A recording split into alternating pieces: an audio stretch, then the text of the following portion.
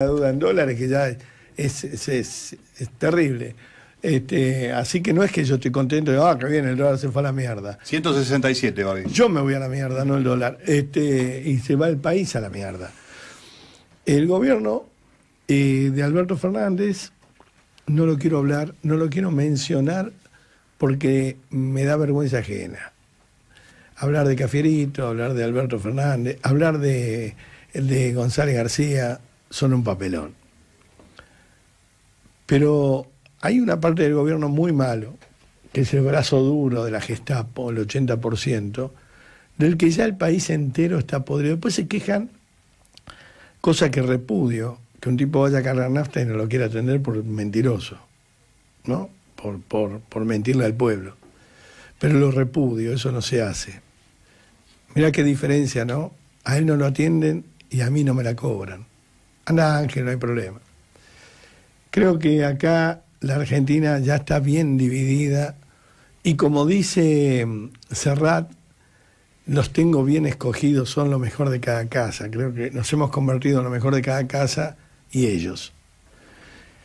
Eh, en la desesperación por ver que los delincuentes no consiguen la impunidad y en la desesperación de ver que Cristina Kirchner se va derritiendo como una vela y cada vez menos gente la apoya, menos gente le cree, salvo algunos este, fundamentalistas que te dicen por la calle, y vos ya lo tomás como gracioso y lamentable, aguante Cristina. El resto de la sociedad no la quiere ver.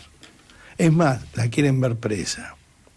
Cosa que esto se podría lograr de haber una justicia expeditiva que nos diga si es inocente o es culpable. Pues tampoco, pobre mujer, vamos a decir que de las 16 causas culpable, por ahí no es culpable de ninguna, y nosotros la estamos acusando al divino botón. Y ella se está defendiendo, tratando de cambiar los jueces y enchastrar la justicia al divino botón porque es inocente y no hay pruebas, ¿no?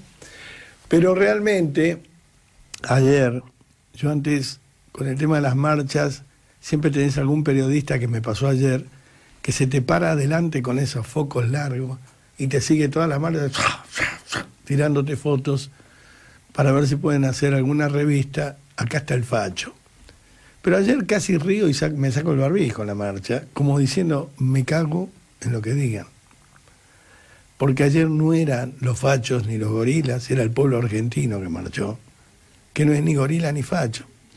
Por supuesto que el Canal K estaba con su móvil destartalado y estaba Guazorra con sus 20 policías de custodia, estaban todos tratando lo posible, no, eso fue en Plaza, en el, obelisco, me mandaron fotos, tratando de provocar a la gente para ver, decir, ahí está, ahí le pegaron al móvil nuestro, ahí le pegaron. Pero realmente la historia no está, no hay que pegarle a ningún móvil ni a ningún periodista, porque no tenemos la culpa. Nosotros, en el caso nuestro no, porque acá somos todos independientes, nadie nos dice nada.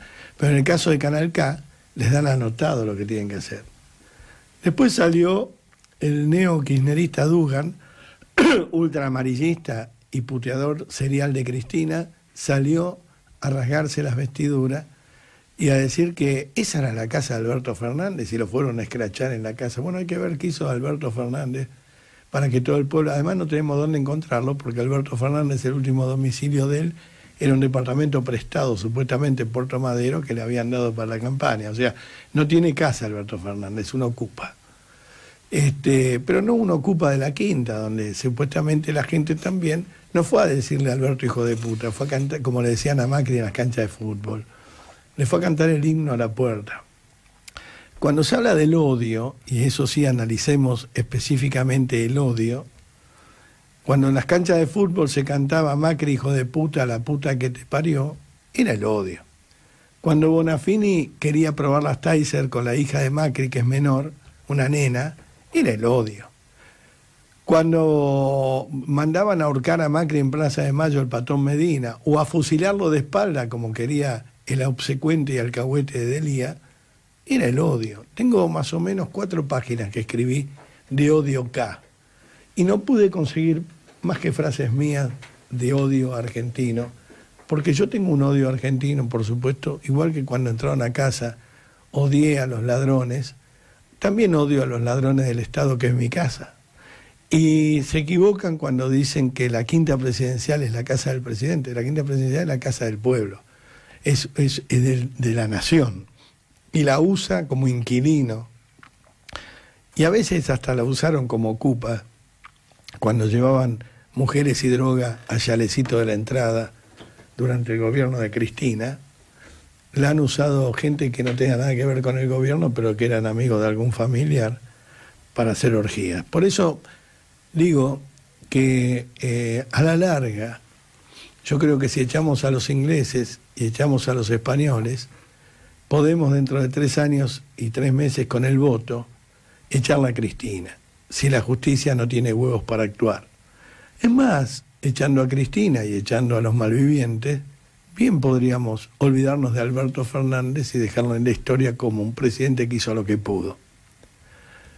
Cuando porque además son tan ignorantes, tan pequeños, son tan... Mira vos, estoy mirando a Cafiero tercero diciendo que Macri no tiene autocrítica. ¿Y Borges? ¿Por qué no habla de tu familia, Cafiero? Este, pero yo lo que digo es que afortunadamente siempre tienen un estúpido, un alcahuete, un obsecuente, un genuflexo, que quiere ser mucho más y, hace mucho más de lo que le piden y la caga. Por ejemplo, Daddy Brieva, con lo que dijo hoy, opacó cualquier tipo de discurso. Ahora le pido a la señora montonera Miriam Lewin que escuche lo que dijo Daddy Brieva y me dé un veredicto sobre el comité de la palabra y todo esto. ¿Lo tenemos a Daddy Brieva? Ponelo. ¿Cómo anda? Bien, voy, una gana de agarrar un camión en N1 619 y jugar al bowling por, por la, 9 de julio. oh, no, no, te das al bowling, al bowling, claro, sí, sí, sí. Claro, no, te das, no, te, no te das una idea. Bueno, seguramente van a decir, yo quise decir que tenía ganas de jugar al bowling con qué, con gente. No, en la 9 de julio, con gente. No hay ningún bowling en la 9 de julio. Yo creo que tendría que ir Daddy Brieva inmediatamente al tribunal a, declarar y ser sometido a un proceso penal.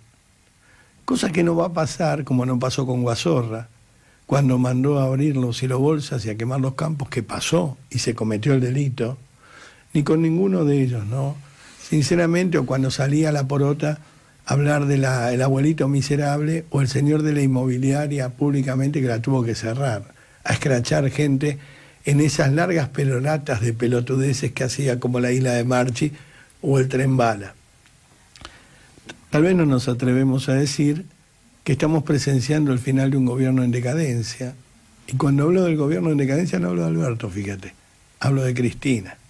Pero cuando veo a Cafierito hablando, también pienso que es decadente, porque es decadente su, su interlocución, que es quien tiene que llevar la interlocución.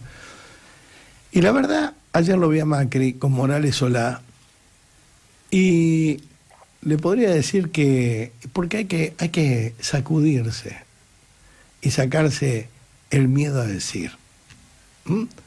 Que me dio orgullo la prestancia, la autocrítica, la forma de ser, porque a lo mejor Cafierito lo que está esperando es que Macri se autoincrimine en lo que ellos quieren y no en lo que hizo. O sea, yo digo mañana, yo maté a un chorro, Dice, no, pero no tiene autocrítica. ¿Y qué querés que diga?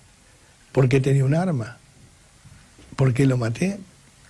¿Por qué los derechos humanos? Y me sacás a Chocobar, que lo quieren enjuiciar por haber cumplido con su deber. Bueno, entonces realmente hoy veo un cafiero denostado, destruido, sin diálogo con el periodismo, tirando manotazos de ahogado, en un pobre y triste gobierno de Alberto, y veo del otro lado el gobierno de la porota, porque es el doble comando, viste que todo el Titanic tenía dos timones, babor y estribor. Eh, uno dobla la paleta para babor y otro para estribor, pero este gobierno tiene dos timones, pero uno en la proa y uno en la popa, con la diferencia que el de la popa va para atrás y el de la proa va para adelante y están siempre en el mismo lugar, cosa que ni se van a estrellar contra un iceberg. Están ahí, no pasa nada. Se sigue muriendo gente con el coronavirus, sigue quebrando gente, el dólar sigue subiendo, todo es una mierda. Y ellos siguen peleándose de babor a estribor y de proa a popa a ver quién conduce. Por eso nadie se anima a decir que estamos hechos mierda y que estamos desgobernados. Y nadie tampoco se anima a decir que la violencia que muestran los Dadibrieva, los Cheruti, toda esta cría, tiene que ver con un, últimas balas para tratar de salvar la trinchera, porque ven que el enemigo se acerca, que el enemigo no somos nosotros, es la libertad y la democracia.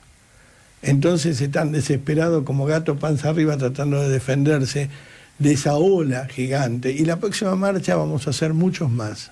Y lo que decía, que en algunas marchas yo no fui y, me peleaba con Benedetti porque le decía, yo no apoyo la marcha, pero después iba. Sí, no la apoyo en el micrófono, pero después voy porque apoyo al pueblo. Pero no la puedo apoyar desde una radio porque si se lastima a alguien van a decir, por este rompe cuarentena, hijo de puta. Yo no llamo a las marchas, ni las provoco, ni me importa más. Pregunté ayer a Benedetti, hoy en la marcha, ¿no? Sí, hoy voy a ir.